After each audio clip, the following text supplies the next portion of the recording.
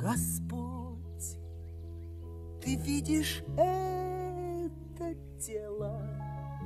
В нем жил злодей и пасквилянт,